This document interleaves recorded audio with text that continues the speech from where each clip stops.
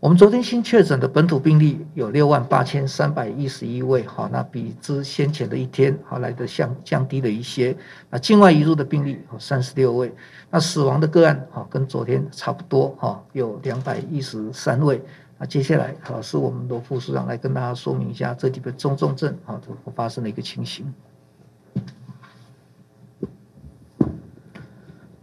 好，我们今天新增五百五十三位的中重症个案哦，其中三百四十四位是中症，两百零九位是重症哦。那呃，因为今天的这个呃比例的小数点哦，如果都取两位会超过一，所以我们今天把三位的小数点都列出来，轻症是占百分之九十九点六五五趴。